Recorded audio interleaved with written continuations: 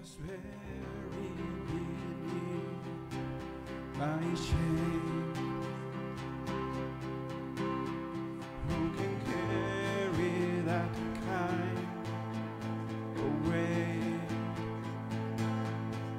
It was my turn till I met you. Let's sing that again. I was buried.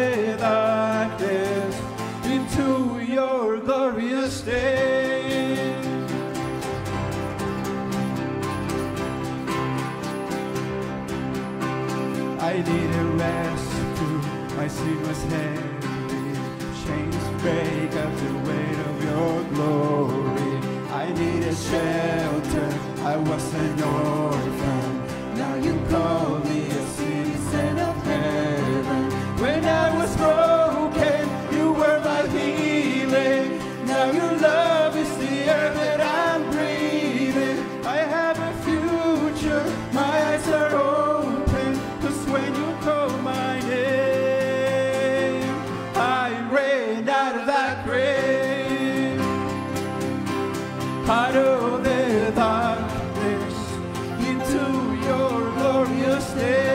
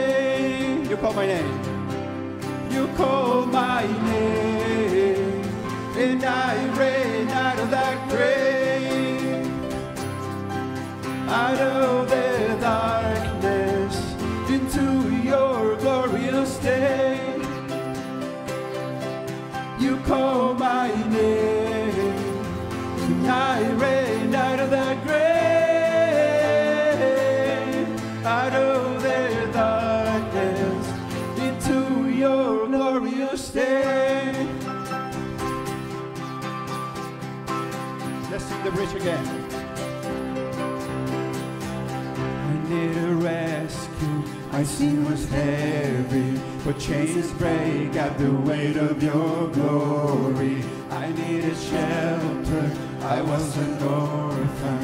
Now you call me a citizen of heaven. When I was broken, you were my healing. Now you love.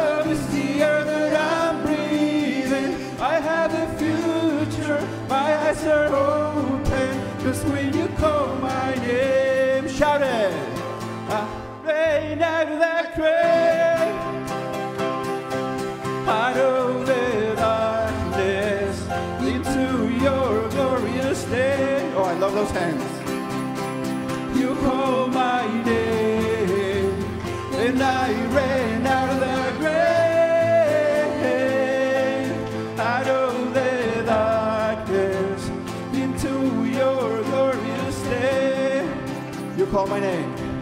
You call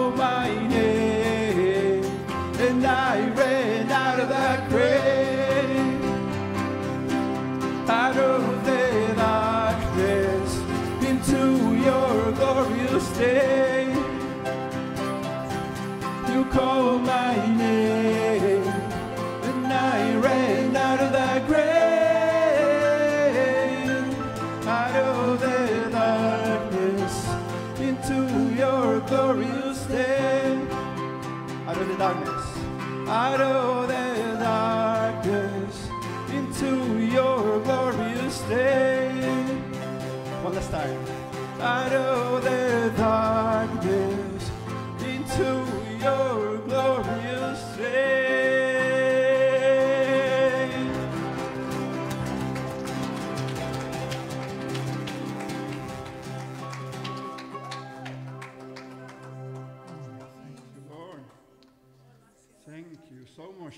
truth in that song.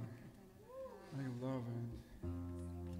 I love it. Thank you, Lord. Thank you, Lord. Thank you, Lord. Thank you, Lord. Thank you, thank you.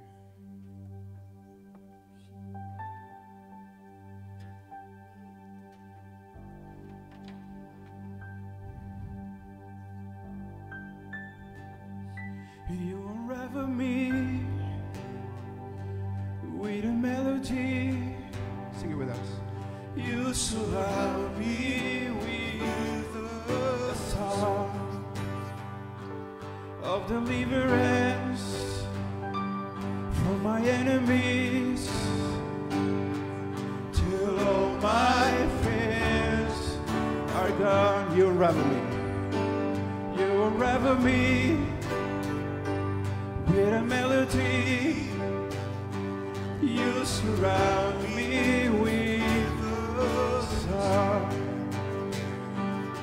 deliverance from my enemies till my fears are gone.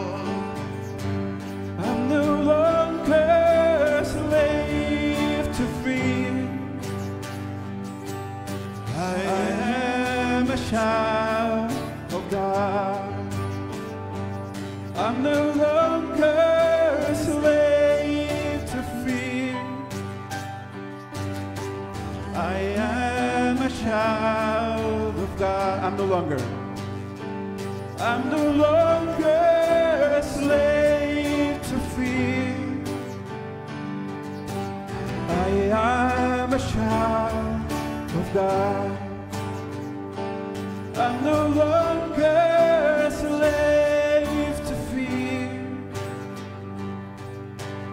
I am a child of God.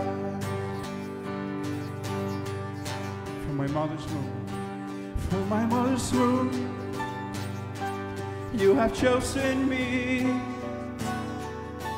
Love has called my name. I've been born again into your family. Your blood flows through my veins. I'm no longer. I'm no longer slave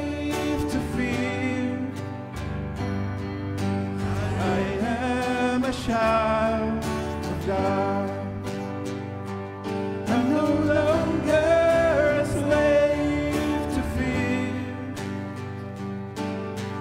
I am a child of God. I'm no longer. I'm no longer a slave to fear. I am a child I'm no longer a slave to fear. I am a child of God.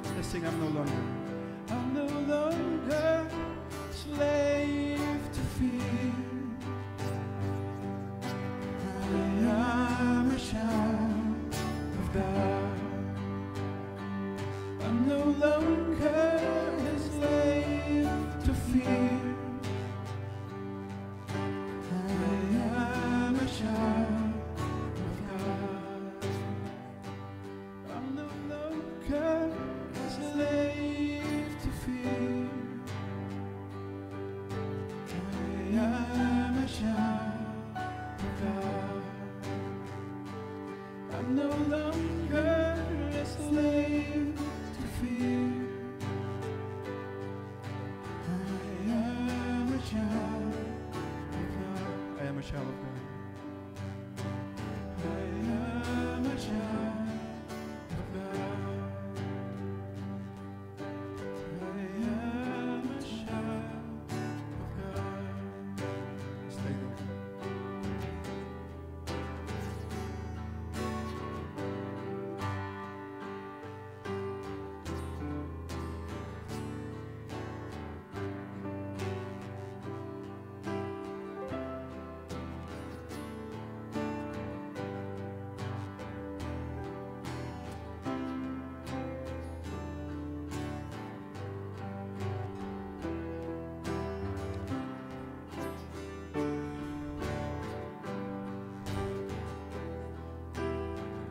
You are a child of the Most High God.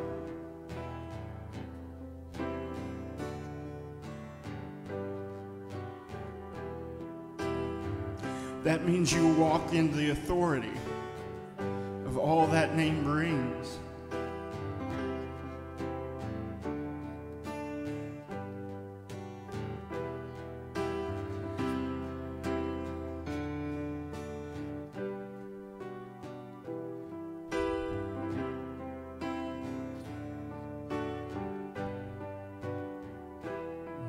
we will no longer walk with our heads down.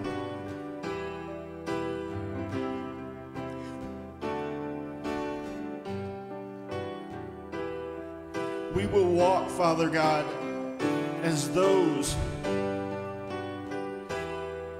who are children of the King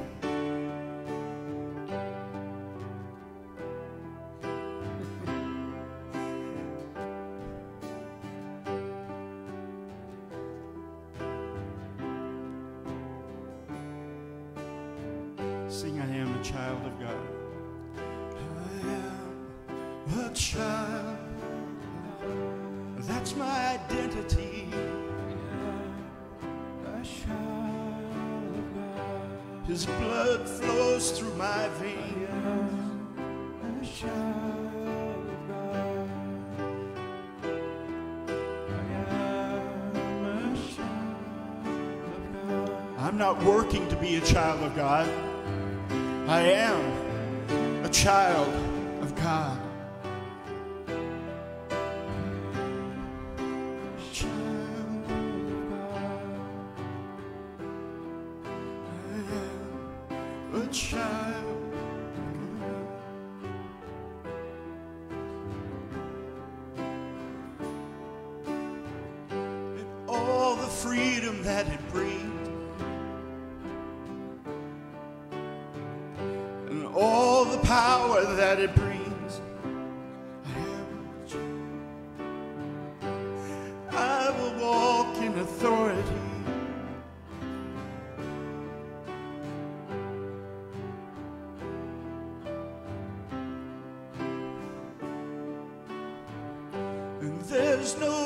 for doubt and fear.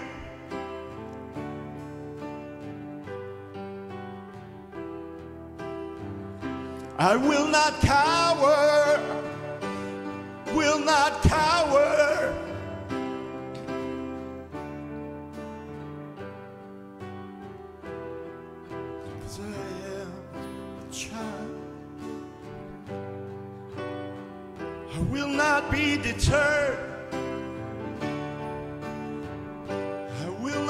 defeated, cause I am a child.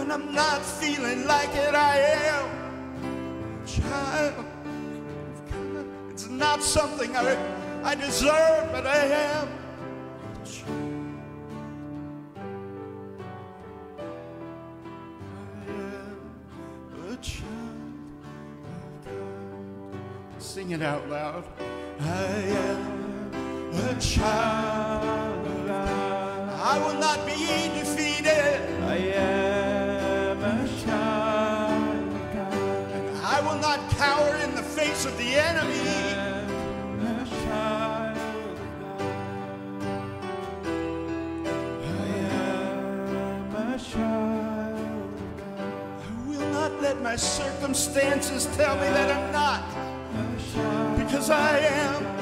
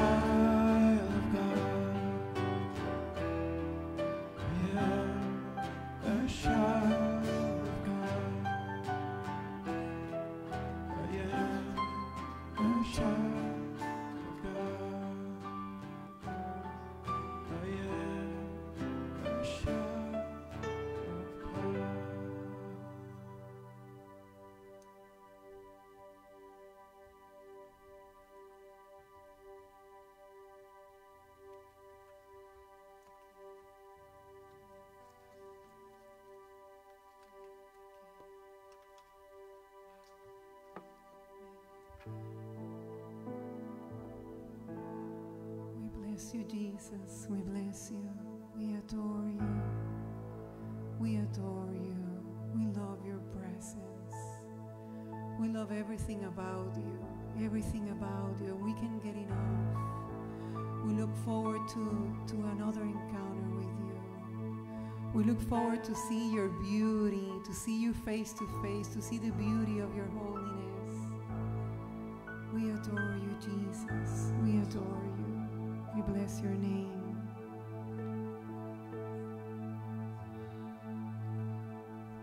Oh presence is better.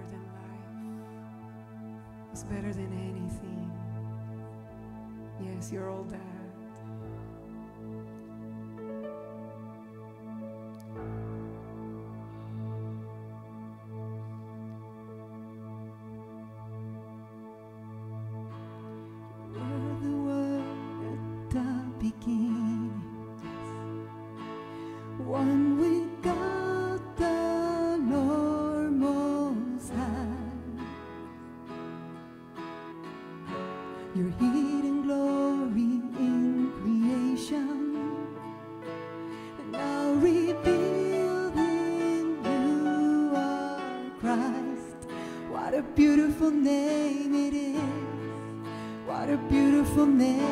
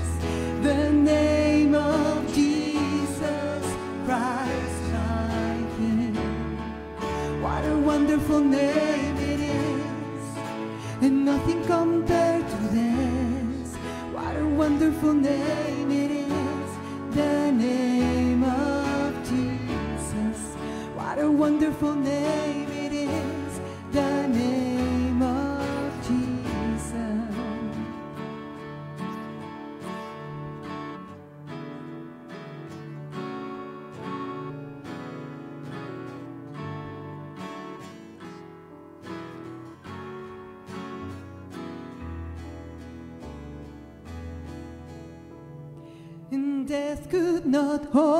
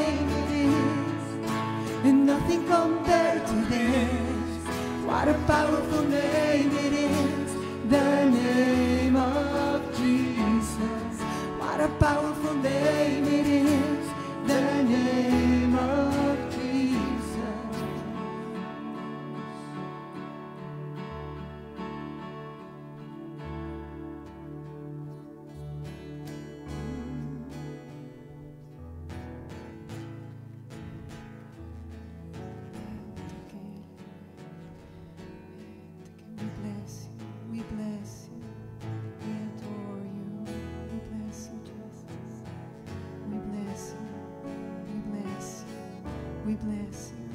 We adore. And oh, what a beautiful name.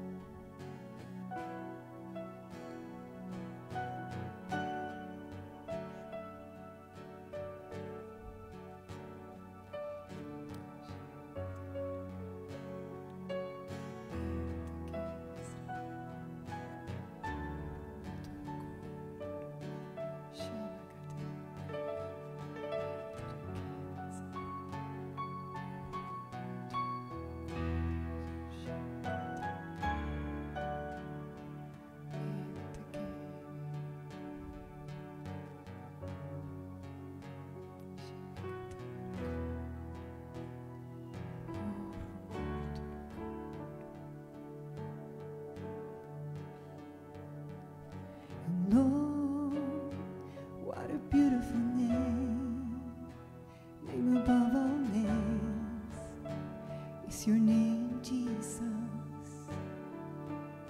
And Lord, what a victorious name, name above all names, is your name, Jesus. Lord, what a glorious name, what a powerful name, is your name.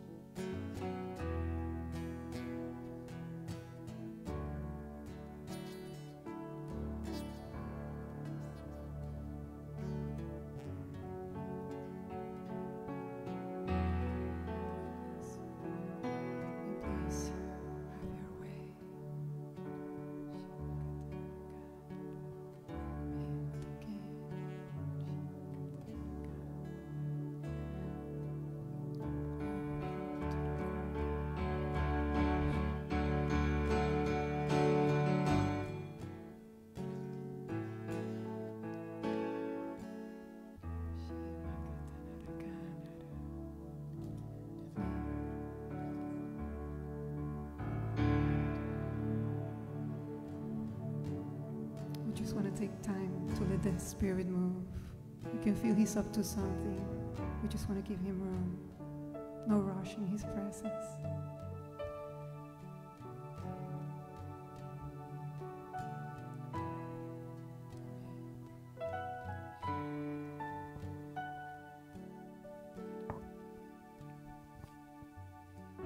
This morning, the Lord was speaking to me out of Ephesians chapter 1, verse 3, where it says, Blessed be the God and Father of our Lord Jesus Christ, who has blessed us with every spiritual blessing in the heavenly places in Christ. And I just feel that the Holy Spirit is wanting to bring us into a place where we come into a mindset that is in the third heaven, that is a mindset that is out of that place of being ascended with Christ Jesus. That's it, that, that place of every spiritual blessing in heavenly places in Christ Jesus. A few years ago, I was dealing with some situations in my physical body, and I, I and some symptoms and things that were going on that were a little bit disconcerting. And I remember I was out walking, and the Lord spoke to me, said, uh, said, uh, you need a checkup. So I'm thinking, okay, I need to go see my doctor. And he said, no, you need a checkup. You need to come up. And what he was showing me said, said said the things of, that that afflict your and the things that afflict your mind are not present in heaven. You're you need to quit identifying with the temporary things of this world, and you need to identify with what who, of who you are in Christ Jesus, seated with Him in heaven. In that place there is no pandemic. In that place, there is no depression. In that place, there is no cancer. There is no diabetes. There is no crippling arthritis. There is no COPD. There is there is no AFib. There, there there's there's no Oshira Maroka masambrageche. Doesn't exist there. It doesn't exist there.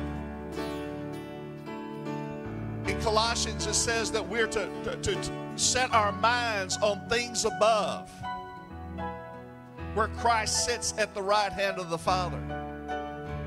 See, what happens is we get, we, we, we it's, it's, it's natural it's natural for us to think in terms of what we see going on in the physical. It's natural for us to, to see in terms of what the, what the media is saying. It's natural to see in terms of, of what our circumstances are saying.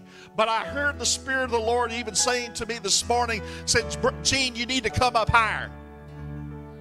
You need to come up higher. We don't live in a shakable kingdom. We live in an unshakable kingdom. We don't live out of the second heaven. We don't live out of the first heaven. We live out of the third heaven in Christ Jesus. We live the other side of the veil. You say, well, when I die, I'll get there. Well, Colossians says, you have died. You are dead. And your life is hidden in Christ. It, it, it is hidden in Christ, in God. You are dead. I'm not waiting to die. God's just waiting for my mind to catch up with what's already happened. And we need to catch up. We need a checkup. Glory to God. I just sense that the Lord is going to begin to call some of you visitations, understanding out of the third heaven where he's going to begin to re- you're going to begin to read the word out of that place. You see, we, if we try to read the word in the light of natural circumstances, what we understand out of our mind, I mean, we're trying to, we're trying to interpret end time events. With the newspaper, how's that working out for you? How's that working out? Oh, do I take do I take the uh, uh, uh, is the uh, is the mask the the the uh, the mark or is the, uh, oh, if I take the, uh, what do they call that stuff, the vaccine, is that the mark? I got news for folks. I lost the mark 2,000 years ago. I'm not worried about the mark. I've been sealed in my forehead with the name Jesus. Glory to God. We need to start thinking, amen, as God already sees us. I'm not of the Spirit of Christ. I have the, the Spirit of Antichrist. I have the Spirit of Christ in me. I'm not looking for 666, glory to God. I'm not looking for I'm not looking for some one world dictator. And I'm not afraid of him either because my life is hidden in Christ. Oh!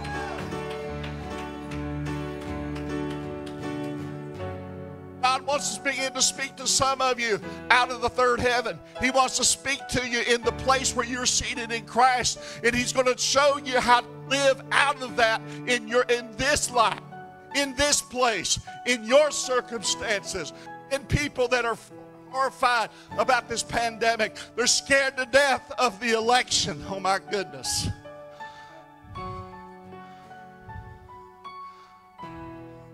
I'm not worried about election. I just want to make sure I'm part of the elect.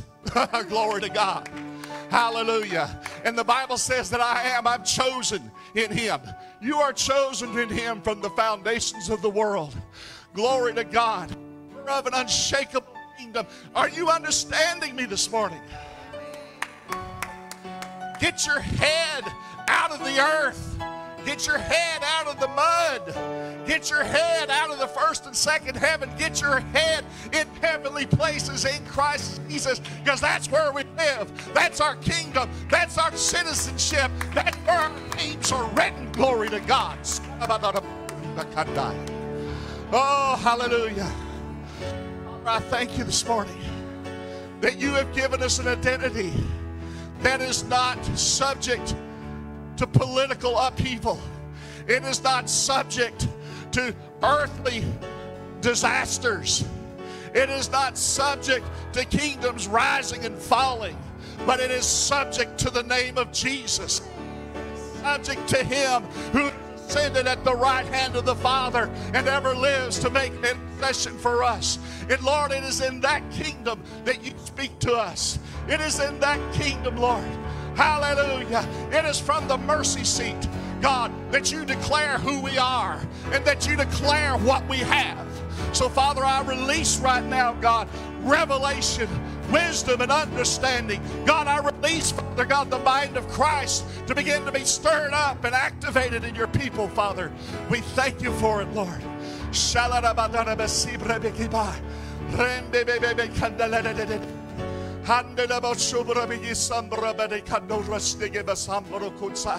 Hallelujah. Hallelujah. Hallelujah. Hallelujah. Hallelujah. And I just just further heard that this third heaven, this heavenly place in Christ Jesus, dwells in us. We dwell in it, and it dwells within us by the power of the Holy Spirit. And, and God is going to begin to birth revelation out of His Word so that you can walk both in the third heaven and you can walk even in this present age in this present pandemic, even in this present upheaval, even in the midst of a shakable kingdom, you'll be living out of an unshakable kingdom. Oh, your foundation will be sure. Hallelujah. And your identity will be secure. Father, I thank you, Lord God, for revelation and wisdom of your word, Father God, that you're going to begin to speak to us, Lord God, out of your word. Father God, that we're going to open the book and we're not just going to see black letters on a white page, Father God, but we're going to see the realities of heaven. We're going to see the realities of the Spirit. We're going to see truth, who is your son Jesus. Lord, we're not just going to see concepts, we're not just going to see precepts, but we're going to person, hallelujah, who is high and lifted up, and his train fills the temple. Lord, we're going to see the embodiment of your glory. We're going to see the embodiment of your truth, Father God. And we're going to hear your voice, hear your voice, hear your voice. God, I just see spiritual ears being unstopped right now in Jesus' name. I see pandemic lenses being lifted. Hold up, oh, my, my, my, my, my, my. Oh, Sidibataya. Thank you. So, Father, God, stirring up your people. And God, that we will now be, we will not just live, Lord, out of the darkness of men's confusion.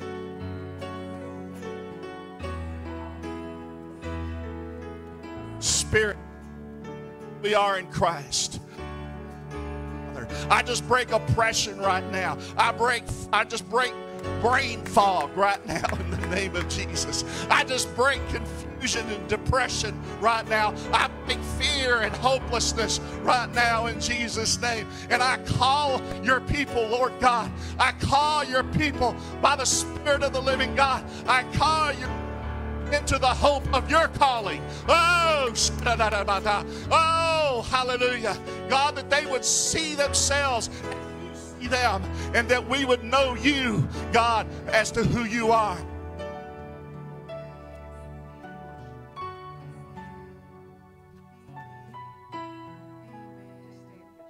So, uh, you know, the prophet has spoken the word of the Lord, and when we prophet speaks, then we have to activate what is prophesied. We don't just hear by the word, but we active in our faith. And uh, while Gene was speaking, actually during worship, I saw the Lord inviting people up to the secret place, inviting people up into that third heaven experience. And, and we have to activate that invitation. We have to say yes to that invitation. So, so Lord, I just want to release in agreement with what He has spoken that invitation into that third heaven reality that on, not only dwells in the uh, no space and uh, time and, and no. Um, anyhow, you know what I mean, but but also understanding that what lives up there God and us and God, but also lives down here with God and God in us. And so, Lord, we just release that right now. And I want to release healing too. The Lord showed me earlier this morning that He wanted to release healing. So we're releasing healing right now in, in weakness that has been caused by this coronavirus. We just declare that weakness broken, that spirit of infirmity across our nation, across this world broken. Uh, every person who has been afflicted by this coronavirus be healed now in the name of Jesus. A cancer healed healed. I kept hearing the word cancer is healed. Cancer is healed. So we just want to release that now in the name of Jesus. Uh, bones restored, blood cleansed. Um, just these infirmities that have come against us where we have felt hopeless. We break the spirit of hopelessness and release the life of Jesus Christ, the greater works of wholeness in us, wholeness and health in Jesus' name. Do you have something, Gene? Pain uh, right now is being being healed, is just being taken out. Pain, uh, just chronic yeah, right now. Pain. pain. in the hips, uh, lower body, uh, pain in the shoulders, pain in the neck. that Uh, just chronic pain right now. Some of you have been dealing with some pain issues for a while. You don't even know how it got there. Yeah. Some diagnosed with stuff and it's been declared to you, you're just going to have to live with this. Ooh. I see Yeah, pain being ba, taken out right now. da, in da, da, Jesus' da, da. name. So, Father, we just release, God. Father, I thank you that Jesus bore our pains and carried our Yeah, sorrows yeah. on the cross 2,000 years ago. And I'd say to you, pain, let, let my people go. That's right. In the name of Jesus, I command pain to go now. In Jesus' name, nerves be healed.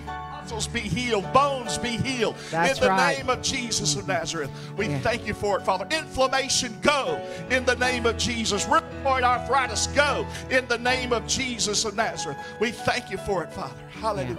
And we just declare migraines gone.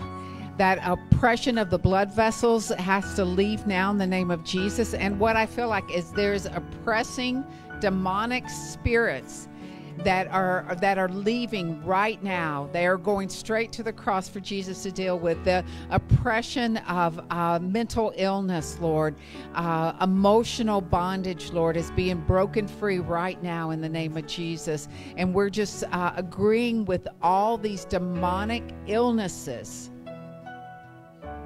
to be gone now in the name of Jesus. Yes, Lord. Thank you, Jesus. Thank you, Jesus. And, um, you know, if you feel something on you, just agree with me and command it to leave now in the name of Jesus. It cannot stay here. The presence of God is pushing every demonic force against you out and, and just releasing a fresh infilling of the Spirit in Jesus' name.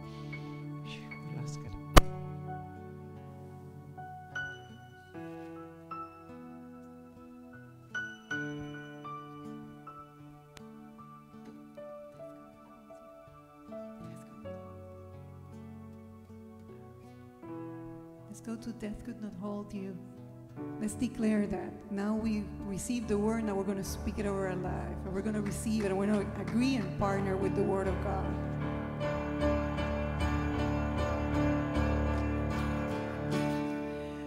Death could not hold you, the bell tore before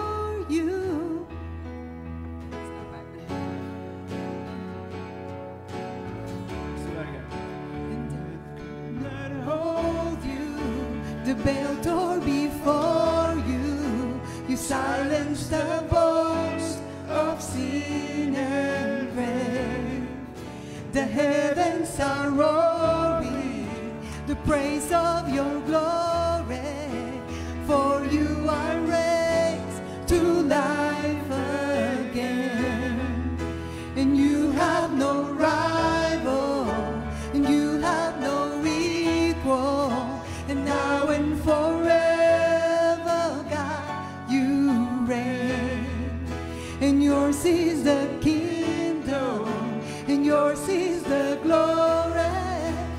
Yours is the name above all names. What a powerful. What a powerful name it is. What a powerful name it is. The name of Jesus Christ, my King. What a powerful name it is. And nothing compared to this. What a powerful name it is. The name. What a powerful- name it is. The name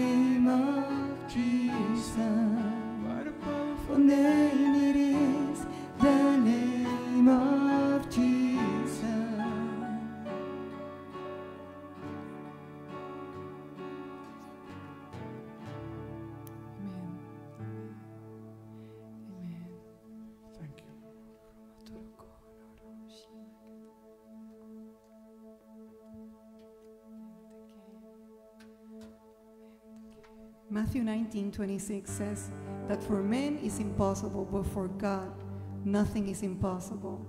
So let's just finish with a strong declaration because who called us? Men, the circumstances, or God? That's what I'm saying. That's what I'm talking about. So all day long, nothing is impossible to our God. And we're going to finish seeing things and declaring things like He said it. In Jesus' name.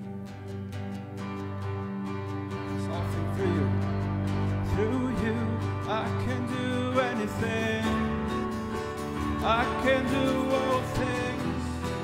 Cause it's you who give me strength. Nothing is impossible. Through you, blind eyes are open. Strongholds are broken. I am living by faith. Let's sing that again. Through you, I can do anything. I can do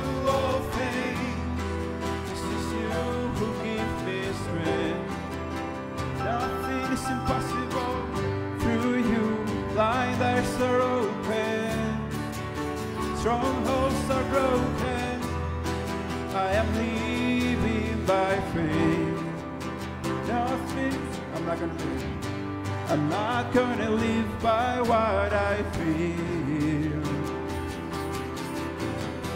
I'm not gonna live by what I feel. Deep down.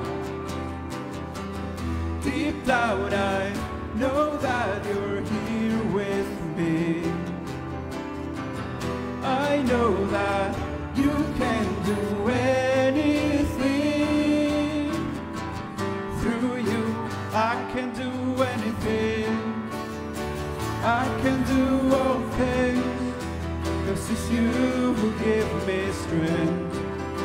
Nothing is impossible through you. Light eyes are broken, Strongholds are broken. I am living by faith. Nothing is through you. Through you, I can do anything. I can do all things. Cause it's you who give me strength. Nothing is impossible through you. Blind eyes are open. Strongholds are broken. I am living by faith. Impossible. Let's, let's keep playing that.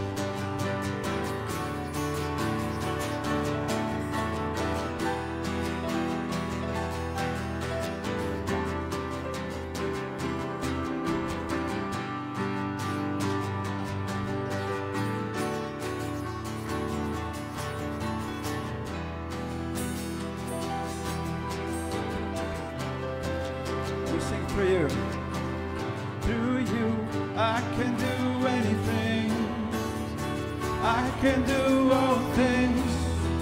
Cause it's you who give me strength. Nothing is impossible through you. Blind eyes are open. Strongholds are broken.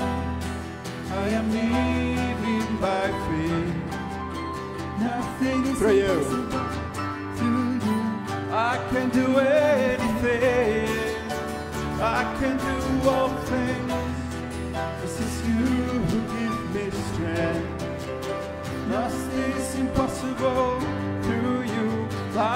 eyes are open. Strongholds are broken. I am living by faith. Nothing is I believe. I believe, I believe. I believe, I believe in you. I believe, I believe. I believe, I believe in you.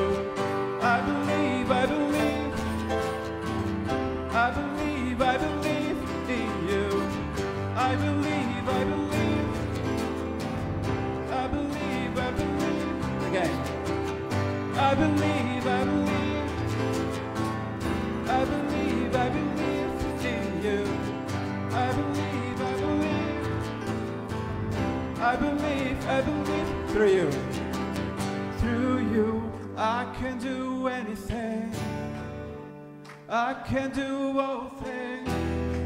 Cause it's you who give me strength. Nothing is impossible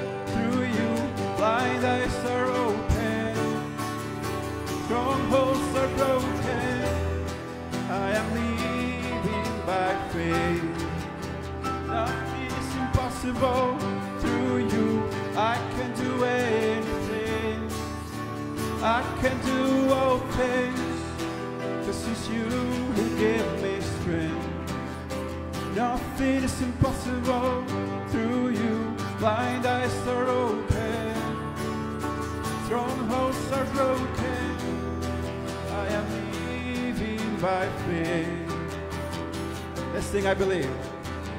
I believe, I believe. I believe, I believe in you. I believe, I believe. I believe, I believe in you. I believe, I believe. I believe, I believe in you. I believe, I believe. I believe, I believe. We sing, I believe.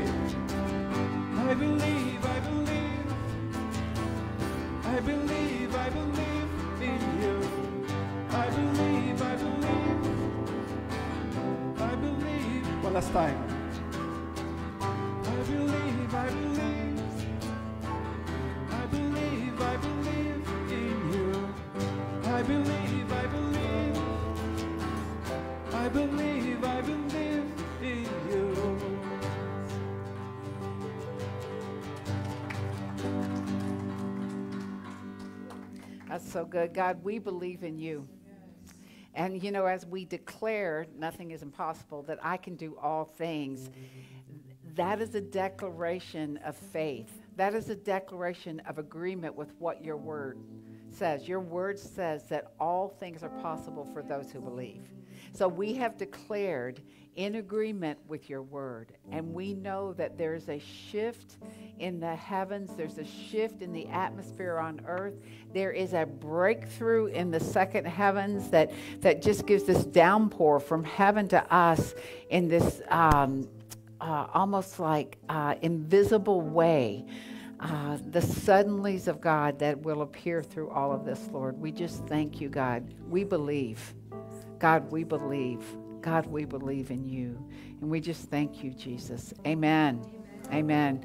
So uh, I just want to remind you guys this Thursday night's the miracle service. And, uh, you know, come out, bring your friends because we're in a season of miracles. We're in a season of healing. We're a season of financial shift. There's a season of abundance of the Lord being poured out on his people. So come expectant come knowing. Uh, I know that we're going to have testimonies from this morning too, because I, I, know that God has moved. Because that's what he does. And he's good at what he does. That's what I always say. He is good at what he does. So thank you, God, for moving on us this morning. In Jesus' name. Amen. Amen. Amen. Thank you. Thank you, worship team. You guys are awesome as usual. Welcome, everybody. Welcome, everybody on Facebook Live. And as you heard, Revival Experience is Thursday night it's our miracle service. We come and uh, expect miracles, not knowing what's going to happen. We just pray that the Lord shows up and we'll just be obedient. So this morning, uh, we have an opportunity to continue worship with our tithes and offerings. But before we do that, we know that God has worked in many people's lives this week. And uh, does anybody have a testimony they want to share this morning? Good morning. Well, as most of you know, and maybe there might be a person or two that doesn't know, but um, four weeks ago tomorrow, my husband walked into heaven. And um, it was a very sudden, very sudden happening. But the Lord said He would take care of me. And He has done amazing, amazing things.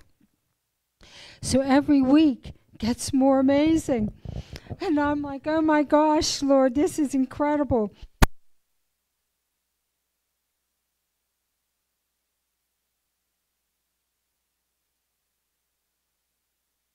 So this morning while I was spending time with the Lord, I said, What testimonies do you want me to share this morning? Because every day got more amazing, got more amazing. And so he said, Share these three testimonies. So it began last Sunday afternoon.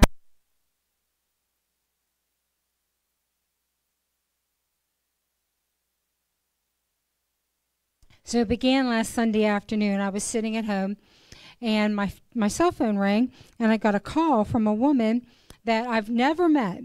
She lives over in Stuart.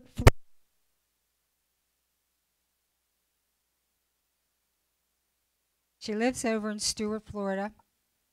She is a very uh, wealthy widower, a wonderful Christian woman, and um, she she said that I'd been on her heart, and a common friend of ours told has passed away. And so she was talking to me and she said, I really want to wipe out one of your major debts. I was like, oh my gosh. And she said, What major debt did Bill leave you? And it actually was a, um, it's called Care Credit. It's a credit card, and he had had a lot of very serious dental work done, and the balance was pretty high. And um, I was actually kind of embarrassed to share that with her. And she said, Okay, I'll send you a check tomorrow to pay off that dental debt. And um, it, there's not only his dental debt on there, but there's mine too, because I've had a couple teeth uh, pulled and so forth. So, anyhow, um, so that was uh, Sunday afternoon. Okay, so then Monday, uh, the funeral home called me. and they said, okay, your husband's here if you want to come and get him. I had because I had him cremated, and then just to remind you, I had some friends um, that called me a few weeks ago, and God told them to pay for his cremation. So I didn't have to pay for that. That's like fifteen hundred dollars. And so um, I went over to get him. Now, the undertaker that I had been dealing with was on vacation. And, um, but the other guy leads me into his office, and here's my husband's ashes in this most beautiful leather case. And I said, There must be some mistake. I was expecting him in one of those corrugated little boxes, right? And he said, he said, Well, Ryan, the man you were dealing with, told us the story about your husband's greatest last day on earth. And I don't think, uh, I asked Cindy for permission to share it with you today. It was um, the Wednesday, a couple days after my husband passed away, and I was spending time with the Lord, and I wasn't in a very good mood. and the Lord said to me, Well, you know, Bill had the greatest last day on earth before he walked into heaven. And I was like, Really? How so? he said, Well, got up and he made you his your favorite um, egg, cheese, and sausage scramble, and you had a lovely breakfast together. I was like, Yeah, you're right. That, that was that was fun. He said, and then a little later in the morning, he invited you back to bed. And you went back to bed with him for a couple hours. And I was like, yeah, Lord, that, that was really fun. Yeah? Yeah. And so um, he said, and after that, you got ready and you went down to Sam's Club and you bought your husband a rotisserie chicken. It's his favorite. And I remember him yanking that leg and thigh off that chicken, man. He was a happy camper. And this is just a few hours before he walks into heaven. And so the Lord said to me, Then he sat down on the floor and he was putting away his godly books in perfect order. He got to do all the things he loved to do, and then he walked into heaven. And I shared that testimony with the, the undertaker, and the undertaker shared it with the other undertakers. And he said, We were so blessed and moved by your story that we couldn't put him in the regular corrugated box. They put him in the finest leather box that retails for like $300. It's beautiful. And so God was just showing me how Bill deserved the finest box. I mean, went outside, they carried his ashes and everything, and I said, Well, put him in the back seat. He always wanted to be chauffeured. so he put him in the back seat and um, and I and I took him home. But I was just so oh, I, I turned to shake their hands, and they took their masks off and they hugged me, and that meant so much. That was the first time I had been hugged by a man, you know, since my husband passed away. And so that was just an amazing, amazing day. Then it didn't stop there. Last Wednesday, I finally had the nerve to go in and sit down at Bill's desk and oh, there was the bill for the condo insurance $200. I was like, oh, boy, God, I need $200, you know, to pay the condo insurance. So that afternoon, when I went to get the mail, the woman from Stuart, Florida, who's paying off his dental debt, added $200 to the gift that she sent me it was just the most amazing thing. I, and there were other things that happened this week, but just, the Lord said share three of them. So that's three out of probably about seven or eight. Save them for next week. Glory to God. yeah. Save them for next week. That's awesome. Anybody else have a testimony they want to share? Karen does. So good, isn't it? As you know, we have ministry class here on Tuesday nights, and well, currently it's on Zoom, but we have the ministry program. And already for next January, we have someone signed up. So I'm just praising God. I'm so excited. I look forward to the new class in January. We'll actually be running two simultaneously. So thank you, God. Right, and if anybody has interest in uh, in the ministry international and the Gathering School of Supernatural Ministry, uh, let uh, let us know, and we'll get you the information packets, and that starts in January of next week. I have a testimony. So I had to text my son to see if it was okay. I cannot post, but I can say it out loud. My daughter in law is pregnant. We just found out. My son called me when they were in Mississippi. It's, she lost her gumpa. Uh, he was 92 years old, and he helped raise her. Her mom wa- is a flight attendant, so she was gone all the time, and her dad lived in another state, so he helped raise her. So uh, the day, I think it was the day of his uh, celebration of life, she found out she was pregnant. And my son called me and said, "We just found out four minutes ago." I'm like, so I said, Can I share it? He said, Don't post it, but you can share it. So we're celebrating uh, another one. So we're just going to have a plethora of babies running around. You you need a bigger car, yes, it's true. a truck, a van, big van, big cargo van. Yeah. Anybody else have a testimony to share? Great.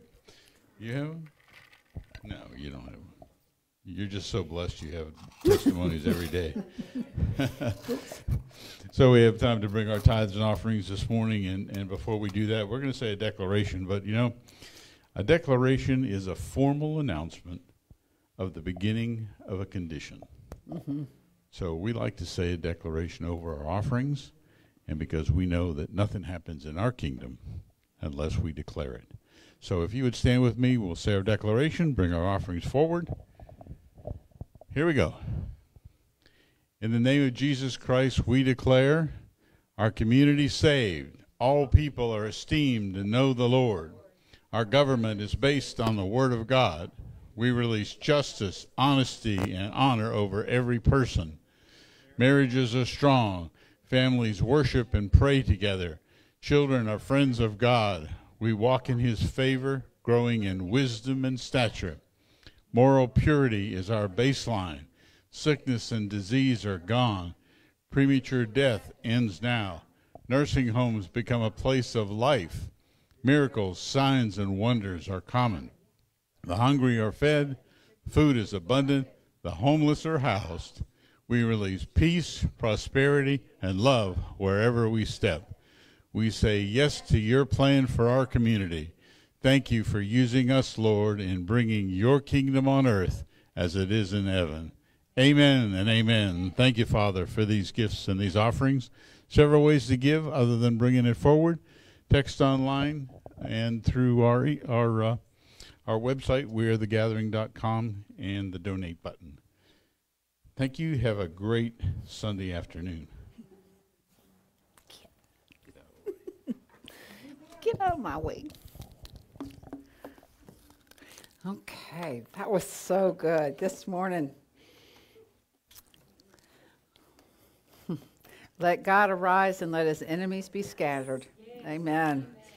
And we know that um, there's just so much wonder that God is doing. So this morning we're going to talk about the more of God, and the question is are you in? Are you in for the more of God? Do you want the more of God? Do you want what He has for you? I want to see some running around the church. Where's Matt? I need Matt to run around the church for me. I really, I'm just going to share from my heart. I w- I've been thinking about this a lot. I read a scripture out of Isaiah 12, and I'm just going to read out of the Passion Translation. Don't worry about this, Noah, uh, to put this up. But this is what caught my attention. It says, um, it's Isaiah 12, and this is the Passion Translation. It says, In that glorious day, you will say to one another, Give thanks to the Lord and ask Him for more. And so I began my little process because I am not shy in talking to the Lord about whatever. Whatever it is, I'm, I'm like, let's chat. And so I began my thought process of ask the Lord for more. Well, I was thinking, okay, Lord, what would I ask you for? And He knows I have a list that goes on and on and on and on. And I actually have things written down. And when they, when he fulfills them, I write the date down. Because I keep up.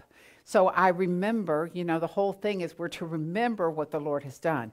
So I write it down. I, I have list and list and list and dates and all kinds of good stuff. He has done so much. I mean, it, it is just amazing. And that's the stuff that I've caught. You know, He does stuff that we don't even realize He's done, but He's done it on our behalf. So I made the list, and and um, you know, I was talking about the world harvest and healing and all these different things. But then, you know, I was like, God, you already know all this. What I really want is more of you. That's what I want. I know I have a lot, but I want more because I know that there's more. I know that. I know I do not have everything that God has offered. I, I just don't have it all. I know I don't because every day I get this new nugget or this new perspective or this new understanding or this new revelation or presence from Him. And I'm like, oh, there's another piece. You know, there's another. You know, my mind is like, boom, blowing up.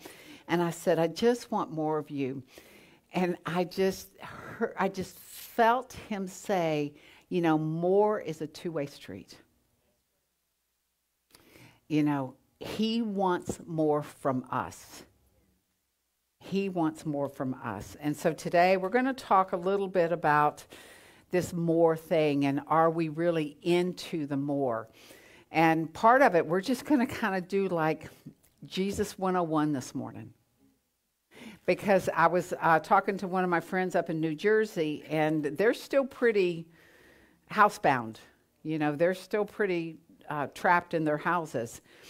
And I was talking to her, and she was saying, uh, she was telling me about something she had read. We're going to do a conference out in Phoenix in September together. And she said, You know, I was reading something from a Barna, a Barna uh, survey, and it said that only 17% of 90 million Christians, so think about that, 17% of 90 million, give or take, Christians have a biblical worldview. Now, think about that. Because, you know, probably when you ask everybody, do you have a biblical worldview? Yeah. But they did a whole list of questions that were scriptural, biblical, and then they had people, you know, uh, respond to the survey of whether they believe it, kind of believe it, don't believe it, and only 70% actually sent it back that they have a biblical worldview. So that's, uh, you know, 9 million and some change. Probably about, uh, you know, what, 17% of 90? I don't know. I don't know. Anyhow, it's probably about 15, uh, 15 to 16 million people, million Christians have a biblical worldview. And they defined a biblical worldview. Um, this is how it was defined that you believe there's an absolute moral truth,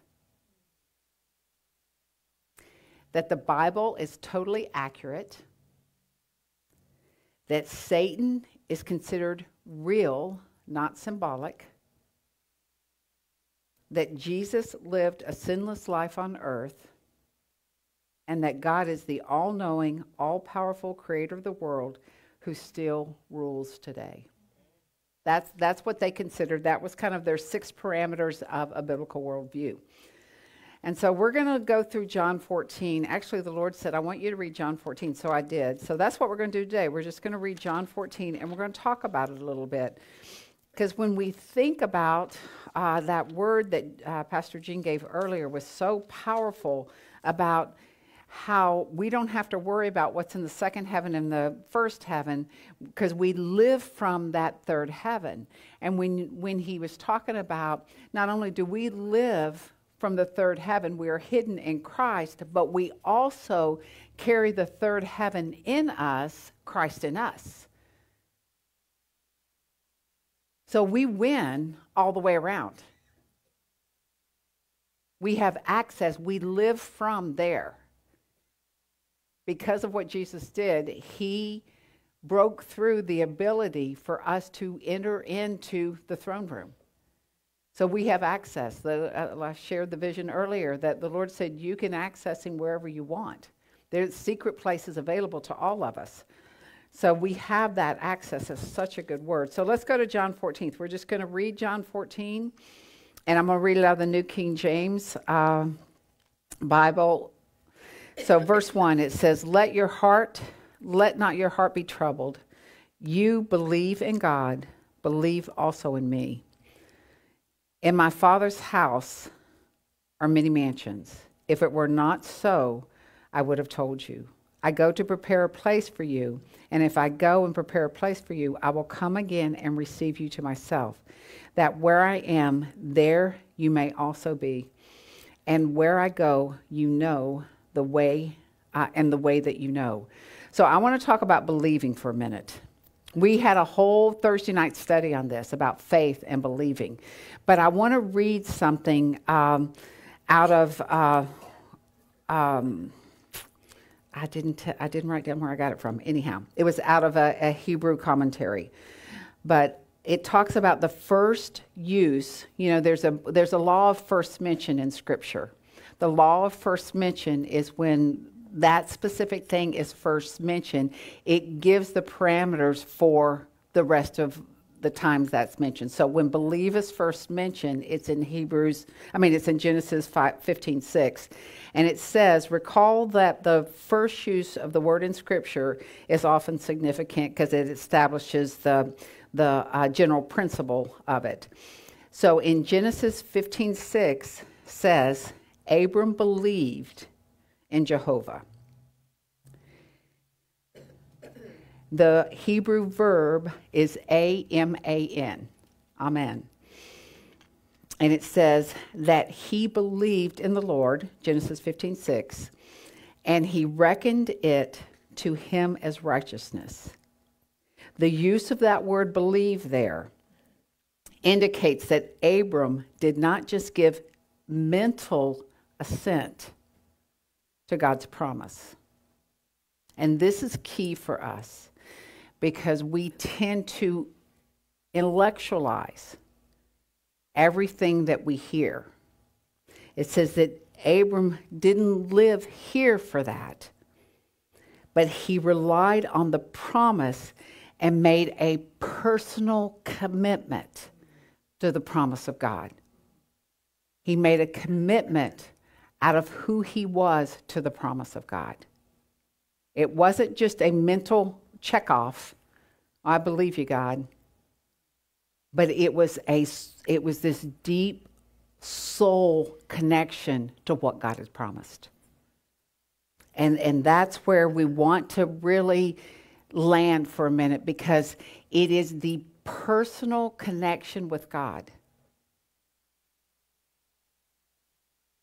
It is that personal encounter with God.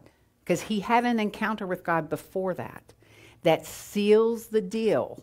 Like Gene said, you know, we're not looking at the mark of the beast on us. We've been sealed with the blood of Jesus. It's that personal encounter with God that seals what God has promised in us and gives us that ability to believe, to have faith. It comes from the depth of our spirit not through a process of our intellect. It doesn't mean we don't use our mind. It says, in other words, Abram's faith was not only cognitive, the mental act of acquiring knowledge, but was also personal, for he believed God for his promises. And Jesus in John 14 is asking the disciples, believe in me. Believe in me. Verse 5 Thomas says to him, Lord, we do not know where you're going, and how can we know the way? And Jesus said to him, I am the way. That is one of the biggest challenges in the Christian world right now. And I have tons of statistics, but I'm not going to bore you with them. Jesus says, I am the way, the truth, and the life. No one comes to the Father except through me. About 67% of Christians today believe that whoever anybody prays to is, is God. It's where New Age has immersed itself in Christianity. So they do not believe that Jesus is the only way to the Father. They believe that through our own journey and our own personal truth, what we've decided is true. We no longer believe in one moral truth, but it's what we've decided is okay. So if you decide that the way to Jesus is through Buddha, I mean, the way to the Father is through Buddha, then that's okay. because that's your personal revelation of truth. But what we have to understand is that is not what the word says. And we have to believe the word. And you know, we may not understand everything in the word. Who understands everything in the word? There are no oh hand. No. There's no hands raised. There's none. Because we don't understand it all because God is revealing it to us as we go. But we have to declare that the word is our truth, whether we understand it or not. That's the reason there's body life, because we learn together. That's the reason we share the word with one another. We have studies together. That's the reason the revelation of the word comes to us through the Spirit, through Jesus Christ. So, so we have to understand what we're fighting against in the demonic realm is the challenge to the very word of the living God. That's what we're fighting against. And it is a challenge to our mind in what we're willing to believe that makes us feel better versus what God has called us to believe that actually transforms us. You know, transformation can be painful we know transformation can be painful because we have to choose to let God turn us inside out. I know um, it's funny, you know, you can, we can all tell stories about when God got a hold of us. And, and we're like, no, that can't be right. But you know, when God gets a hold of us, something changes. And even though we may fight it, how many have fought with God over transformation? I have. I'm like, Are you sure? That's like, I'm positive. but part of it is because we, we wrestle with our flesh, we wrestle with what we want versus what's best for us. I mean, can you ever remember your, your mom telling you what's best for you? And you're like, that's not best for me.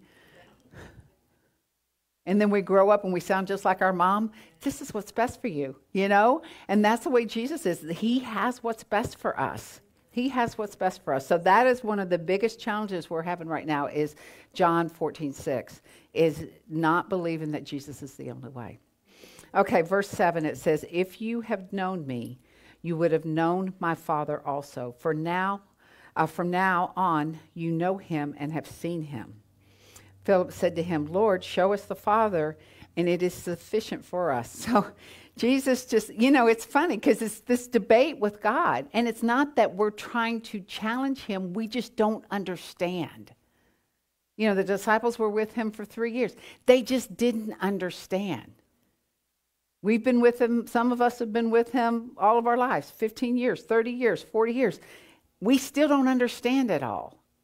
And Jesus is saying, He says to him, uh, verse 9, Have I been with you so long, and yet you have not known me, Philip? He who has seen me has seen the Father. So how can you say, Show us the Father?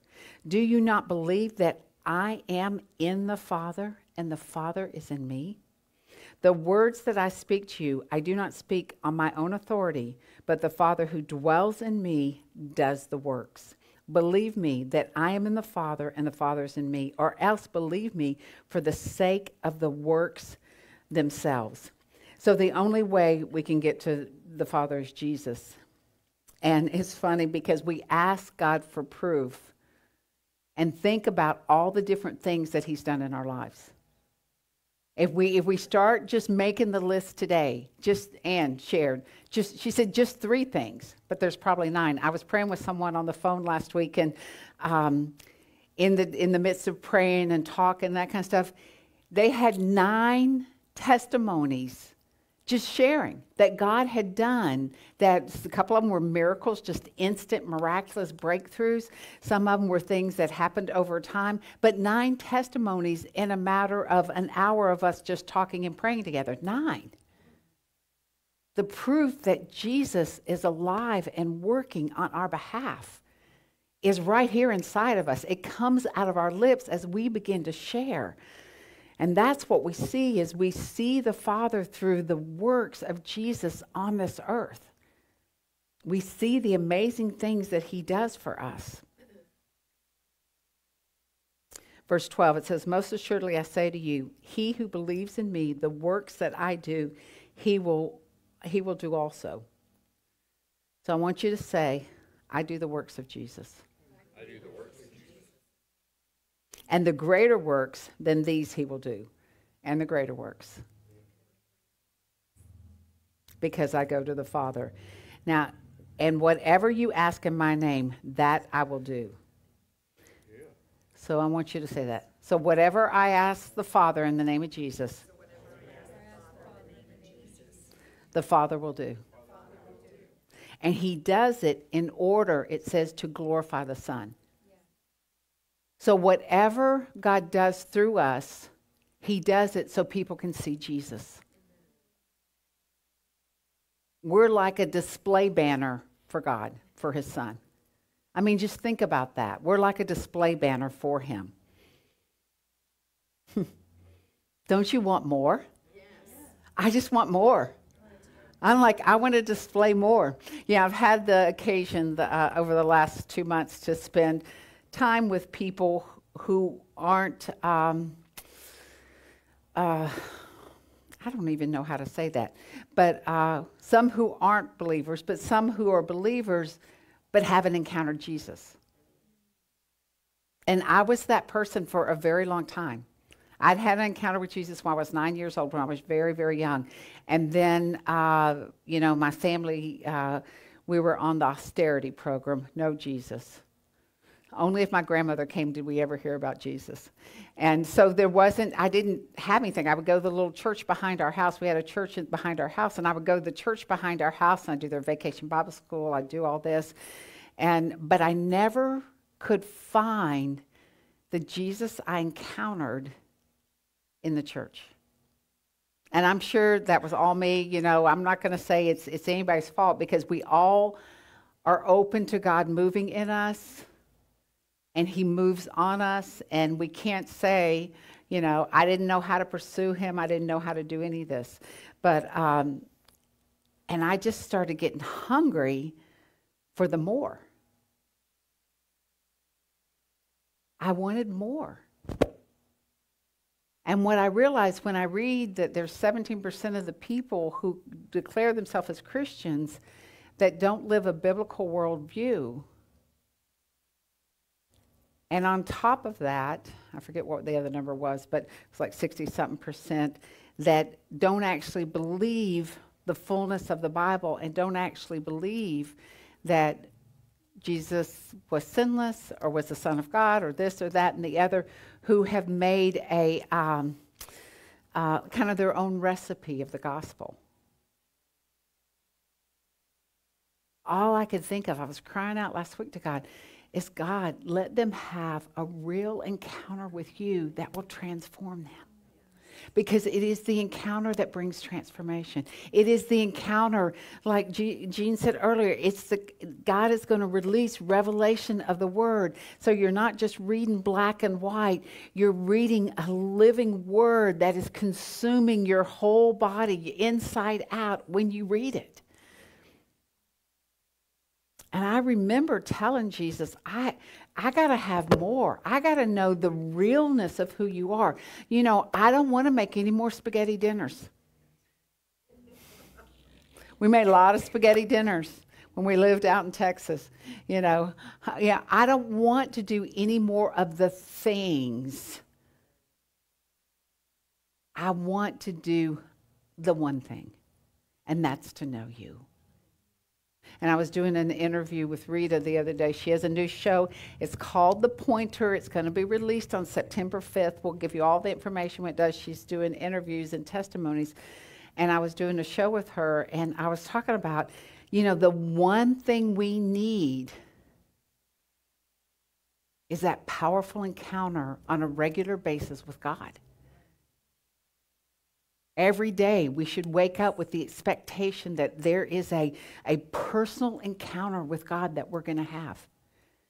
That I don't want to know God through my intellect, I want to know Him through my spirit. that, that captures my soul, that brings my mind with it, that my body follows. You know, that's what I want. And that's as a, as a body. You know, we're talking to the body of Christ. That's what we need. Is we need this wild encounter with God that will turn us upside down and shake out all the unbelief and all the lies and all the other things that are in us that keep us from fully wanting more of him and receiving the more that he has for us.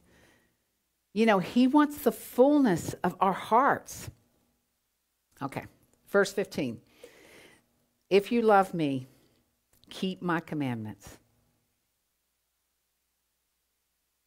So, love is an action. And doing what he says is a sign of our love for him. And I will pray the Father to the Father, and he will give you another helper, that he may abide with you forever. The Spirit of truth, whom the world cannot receive, because it neither sees him nor knows him. So the world does not see the Holy Spirit.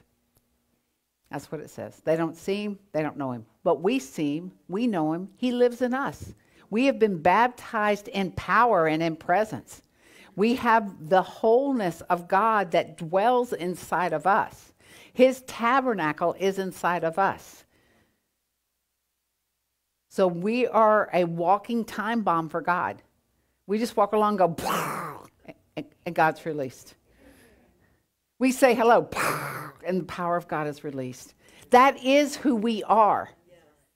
We may not walk like that's who we are, but that actually is how God designed us.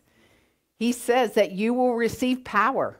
Those who believe in me will receive the power and presence of me living in them.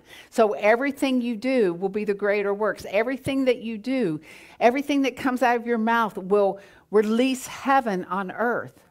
Everyone you touch will receive the power of God on them because that's who you carry. I'll never forget the first time I heard Bill Johnson from Bethel say uh, that he was just standing in the health food store trying to buy something. This lady walked up beside him and she just fell on the floor because the power was on him so. The more of God. Does anybody want that more? Yeah, I went and tried. I went, went. just standing beside me, going enough. because you just want evidence, right? We want to see that they're just like, what do you got? I got God. You want some? You know, you, you want people to run to you, but what God's saying, I want you to run over them. Touch them. Let them know that God is love and He loves them. And I, I just, yeah, can you imagine what's that like? And uh, uh Jean gave a word in our Thursday night a couple weeks ago that, that September is going to bring a dynamic shift in miracles and healing and the release of the presence of God. And we already have an abundance of it now. Can you imagine it exponential? Because we know that that becomes a sovereign move of God. When He does something that's already here, that is magnified to what He's already been doing. So there's that exponential release of God over us. This is good. You know, you can read the word, it's good. It doesn't even need all the extra verbiage with it. We could just sit here and read the word out loud, and the word activates our spirit, and it transforms our heart, and it changes our mind because the word of God is alive in Jesus Christ. That's right. Whew. So good. Okay. Let, us keep let's keep on.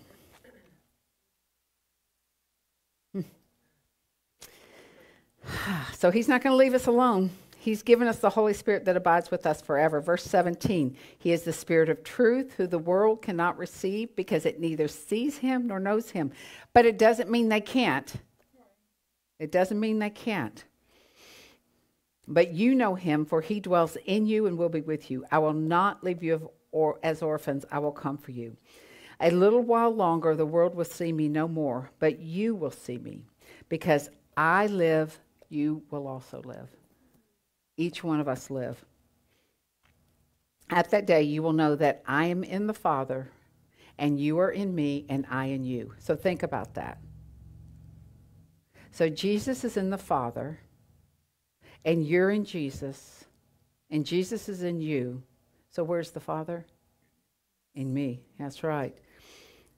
And Jesus says that in John 17, 20. Let me just flip over. I want to read that real quick. 17, 21 also, when he's, um, let me find it here. It says, 17, 21, it says, that they may know, uh, sorry, that they may be one as you, Father, are in me and I in you, that they may also be one in us, and that the world may believe that you sent me.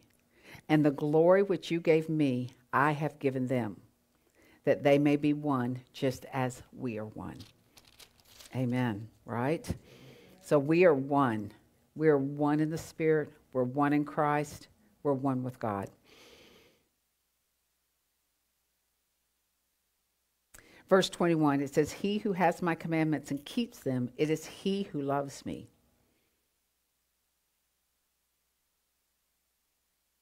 That just makes you think, doesn't it?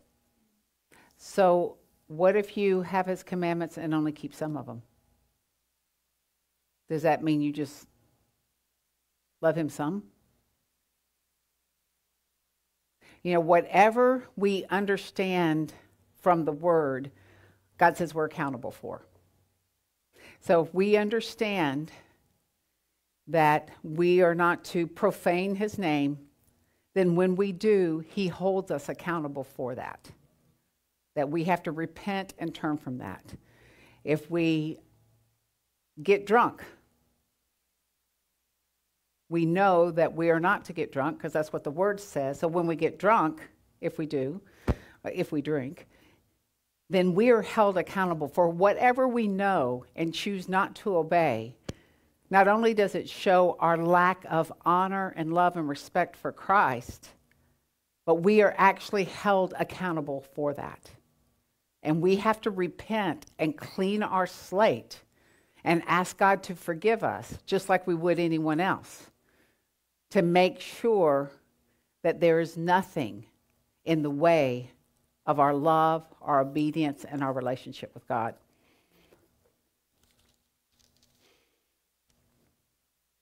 Verse 22 Judas said to him, Lord, how is it that you will manifest yourself to us and not to the world? And Jesus answered and said to him, If anyone loves me, he will keep my word, and my Father will love him. And we will come to him and make our home with him. He who does not love me does not keep my words, and the word which you hear is not mine, but the Father who has sent me.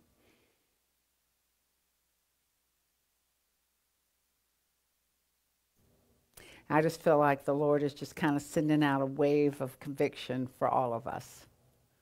Uh, because this is, a, this is a time where, know we've talked about this a little bit, where that plumb lighting's been pulled and the mark's been made and we have to decide where we're going to stand.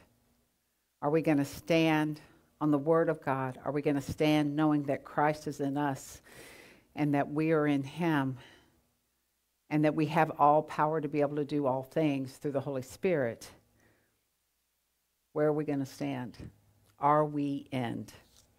Are we in? Verse 25 These things I've spoken to you while being present with you. But the Helper, the Holy Spirit, whom the Father will send in my name, he will teach you all things. He will bring to your remembrance all things I said to you. Peace I leave with you. That peace is all encompassing, it is wholeness, it is prosperity, it is blessing. My peace I give to you. Not as the world gives you, gives do I give to you. Let not your heart be troubled, neither let it be afraid. You have heard me say to you, I am going away and coming back to you. If you loved me, you would rejoice because I said, I'm going to the Father, for my Father is greater than I. And now I've told you before it comes that when it does not come to pass, you may so when it does come to pass, you may believe. I will no longer talk much with you, for the ruler of this world is coming. He has nothing in me, but the world may know that I love the Father, and as the Father gave me commandment, so do I. Arise, let us go from here. So, I want to talk about a couple other things before we pray because I want us to pray. You know, this is uh, uh, kind of a, um, it's almost like a solemn message because I feel like the Lord wants to stir up in us whatever is not aligned with Him so it can be evicted. Just like we prayed after worship, uh, we have to pray during worship for healing, for anything that's coming against us. But I feel like the Lord wants to stir up in us a spirit of conviction for the things that we know are true and are not walking in that truth, that we will step into it. That we will step into it. Because we don't want to give the enemy any territory of access to us. And when we know what the word says in our heart, in our spirit, we know the Holy Spirit is living in us, and we decide not to do it. It says, enemy, we're inviting you to partner with us because we've decided this part of God we're not going to partner with, which, which leaves an open space for the enemy to come against us. And we do not want any room for the enemy to come against us. We don't want to give him any territory. The righteousness, the holiness that he has given us, he says, Be holy because I am holy. That has been given to us. It's time to crank that up a bit. And um, Okay. So, Lord, I just thank you, Lord.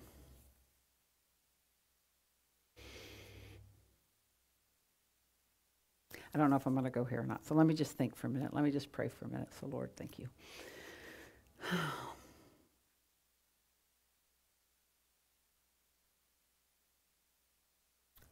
I'm going to go to Colossians 2 7, 10. Uh, 7 through 10. I don't believe I gave you that, Noah, but you're fast. He is.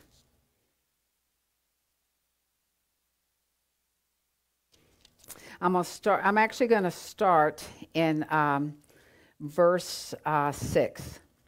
It says, "As you therefore have received Christ Jesus the Lord, so walk in Him, rooted and built up in Him, established in the faith."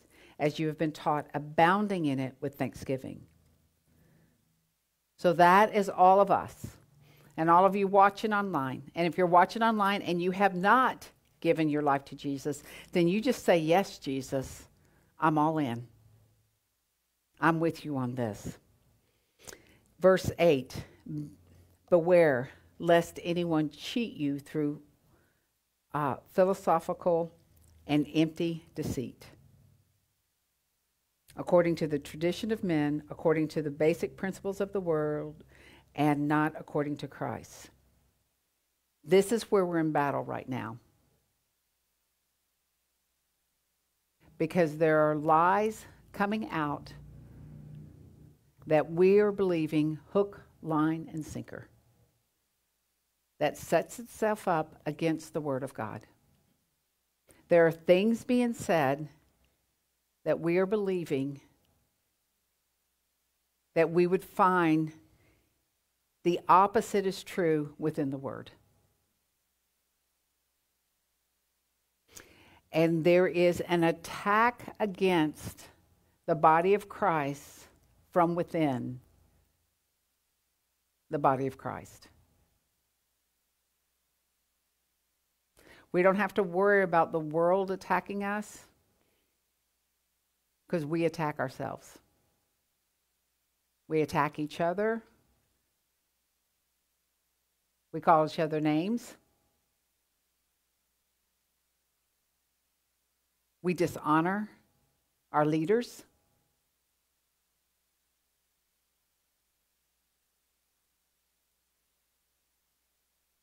As leaders, we have dishonored the people that follow us. We have not represented Christ well.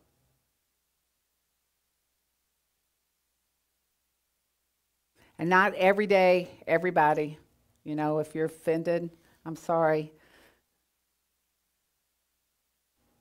But we have got to learn that the Word of God has got to be coated with the heart of God, the love of God, and not coated with our own opinion that does not look anything like the Word of God.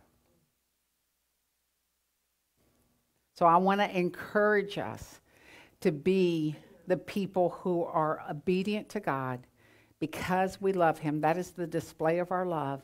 And obedience to Christ means that we love one another as we love Christ. That we think of others higher than ourselves. That when we offend, hurt, or cause damage to someone else, that we are the bridge of reconciliation toward them, asking forgiveness, building that place, re- reestablishing the lines of communication.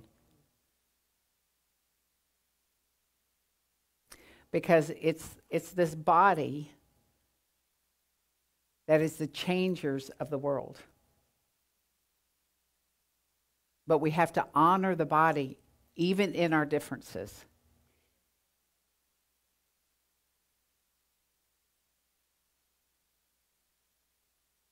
Verse 9, it says, For in him dwells all the fullness of, of the godly, head, godly body. Shoot, let me start that over. For in him dwells all the fullness of the Godhead bodily, and you are complete in him, who is the head of all principality and power. We are complete in him. So, in closing, I want everybody to smile. Because I know sometimes the word cuts us because the word heals us. And it wants to, the word is used to take away the things that don't align with the word. And we have to encourage each other in the places that we're at to align themselves with the fullness that God has for us. So if we want more of God, we've got to give Him more of us. We got to be all in. We got to say, God, if there's anything in me that doesn't line up with who you've created me to be, if I have believed something, like when I, I when I was growing up, I believed almost every Sunday basically I had to get saved again because I did something wrong the Sunday before. And when they played the song, we had to go. We had to go, or we weren't going to make it till the next Sunday, you know. But but that was a tradition of man. That's what that word in Colossians said. That was a tradition of man that we were taught. We didn't know that we could just say, "We were sorry. Please forgive us, Jesus. We won't do it again." We thought we had to get saved again. So there were a lot of traditions that I had to get rid of. You know, that if, that if I did something wrong, that God would never have anything to do with me again. You know, there were things I, were I was taught that I thought was the Word of God because I didn't know the Word of God. But then as I began to really learn the Word of God, I realized I had to go through a process of getting what was wrong out of my mind so I could get what was right into my spirit. I had to detox from things I'd been taught.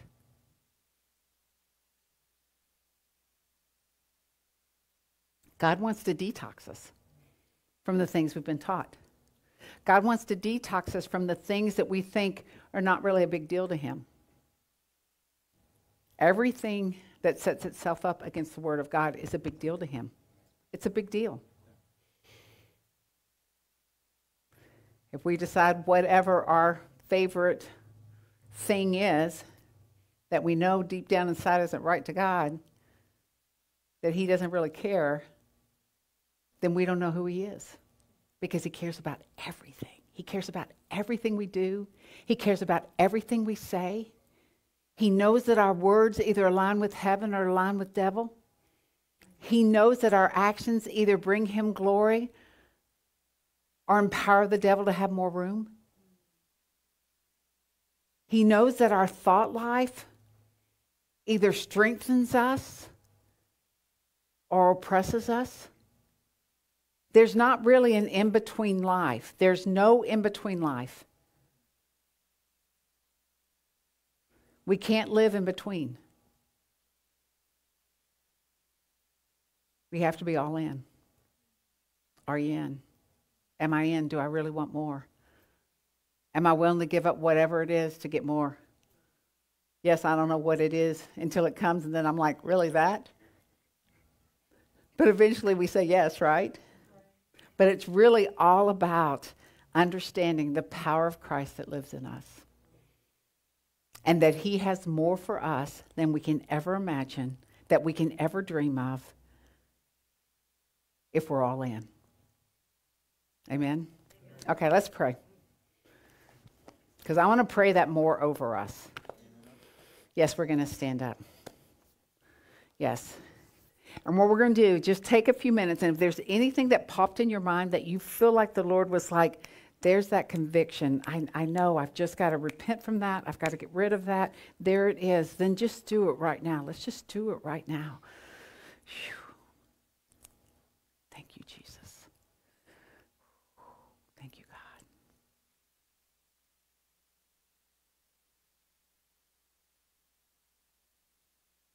Thank you, Lord. When we come to you and we confess our sins, you forgive us. And the word says you remember them no more. And it is not because you have a bad memory. It's because once it's done, it's done. And you choose no longer to remember that. So, God, just thank you that you forgive our sins. And Lord, we're standing because we want more.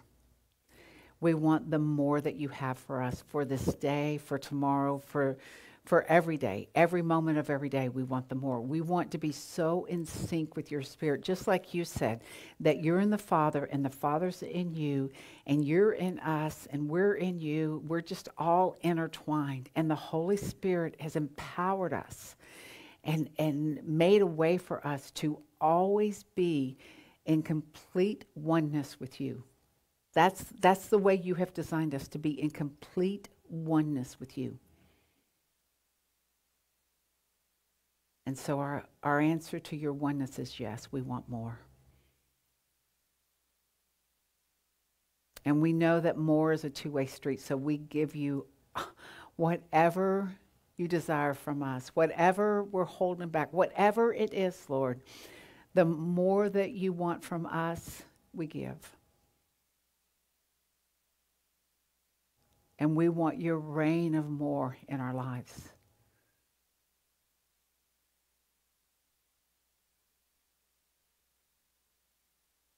We want to be such a carrier of your presence that shadows heal. That when the dry cleaners take our clothes, they get so overwhelmed by the Holy Spirit. When we take our car through the car wash, the guys there, the girls there will just be uh, just drawn to your glory. When we sit in a restaurant, Lord, that there will just be such a release of who you are. And we may not even recognize it. We don't even know what you're doing. But because we are holy, because you are holy, it's a natural release of who you are. Supernatural release, Jesus. So just stir up in us that greater awareness of the more of you, God. And even like uh, uh, Jean released this morning, that there's just going to be these uh, throne room encounters.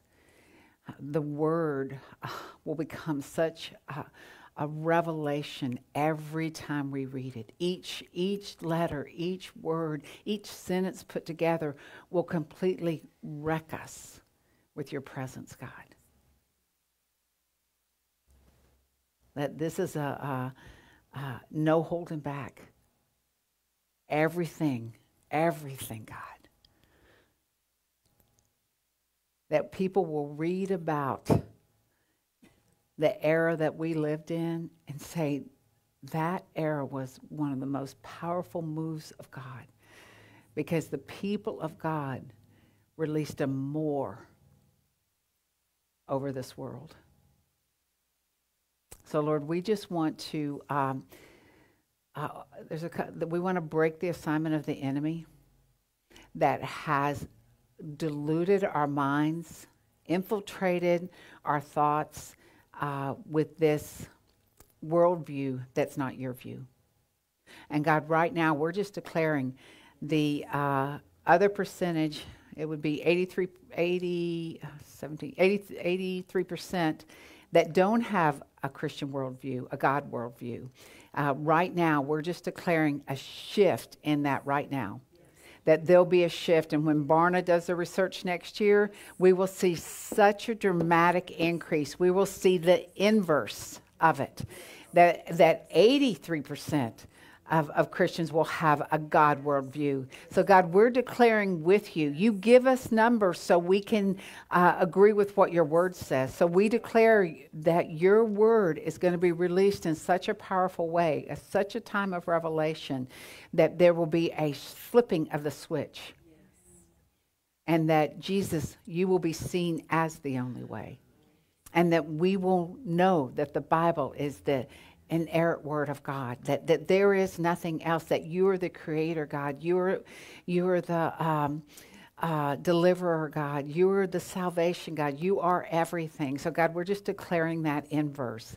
And, and Lord, we're just thanking you that as new people come into the body of Christ, that, that they will be uh, just infused with the understanding of you and the word and and and that uh, it'll almost be like a magnet of wrong thinking will be released to pull all of that out and then an infusion of right thinking.